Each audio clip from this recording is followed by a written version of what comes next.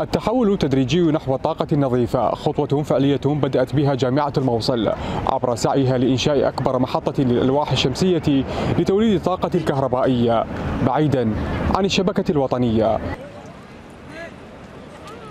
على مساحة تبلغ أكثر من 200 ألف متر مربع في الحرم الجامعي. خصصت جامعة الموصل أرضا لإنشاء حقول ألواح الطاقة الشمسية فضلا عن استغلال أسطح مباني الجامعة ضمن مدة زمنية قدرت بعامين ونصف. ليبصر المشروع النور.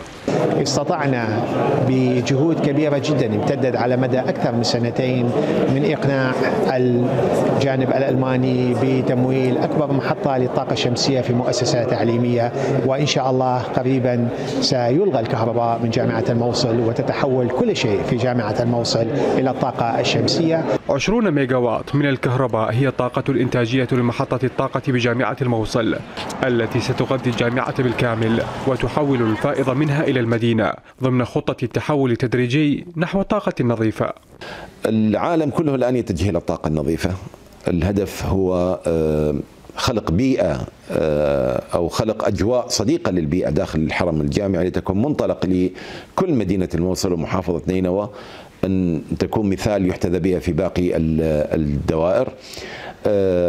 الهدف هو تقليل العبء على الشبكة الوطنية في استهلاك الطاقة. المشروع سينفذ بتمويل ألماني مباشر بكلفة إجمالية تفوق 20 مليون يورو دون تحمل الحكومة العراقية أي مبالغ مالية فضلا عن تقديم الحكومة الألمانية الاستشارة لحين الانتهاء من المشروع قاسم الزيدي يو تي في الموصل.